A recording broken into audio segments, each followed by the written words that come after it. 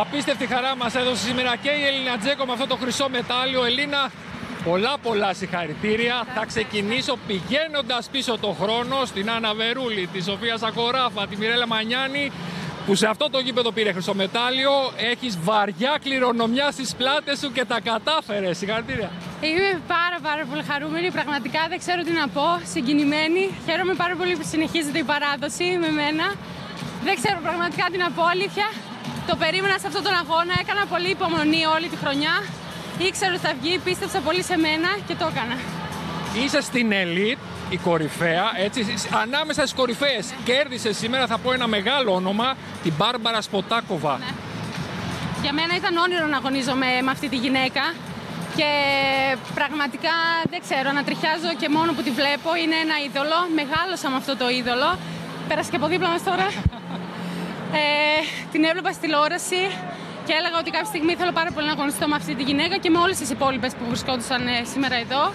Ε, και να που το όνειρο γίνεται πραγματικότητα. Βρίσκομαι όπως είπατε και εσείς ανάμεσα στους ελίτ και δεν μπορώ, είμαι πολύ χαρούμενη και ευτυχισμένη. Πρώτη βολή για σένα, τα 60 μέτρα 82.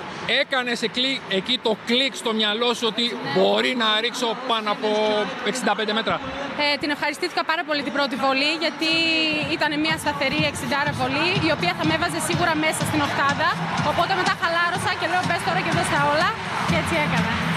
Γιατί η αντίδραση από τον προπονητή, τον Γιώργο Μποσκαριό, Τρελάθηκε, τρελάθηκε όπως και εγώ, εντάξει, όπως με είδατε, τσίριζα, φώναζα.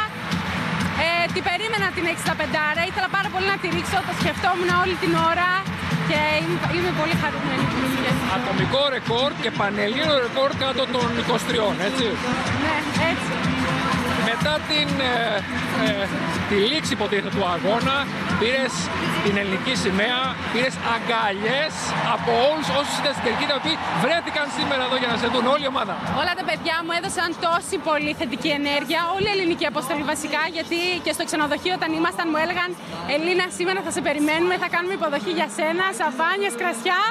Και όλοι περίμεναν ότι θα κερδίσω ε, περισσότερο από μένα. Οπότε αυτό μου έδωσε πολύ boost, πολύ και πολύ χαρά. Για να Είμαστε πραγματικά και εμείς ε, πολύ χαρούμενοι, συγκινημένοι, όπως και με την Αντιγόνη Τρισμπιώτη σήμερα. Ναι. Είδαμε και την ε, Πέση Ηρίδου. έτσι, έτσι. Έχετε κάνει πραγματικά την Ελλάδα περήφανη. Σας ευχαριστούμε πάρα πολύ. Σας ευχαριστούμε. ευχαριστούμε για τη στήριξη. Καλή συνέχεια και πάλι σε εσάς γυρίζουμε για τη μετάδοση.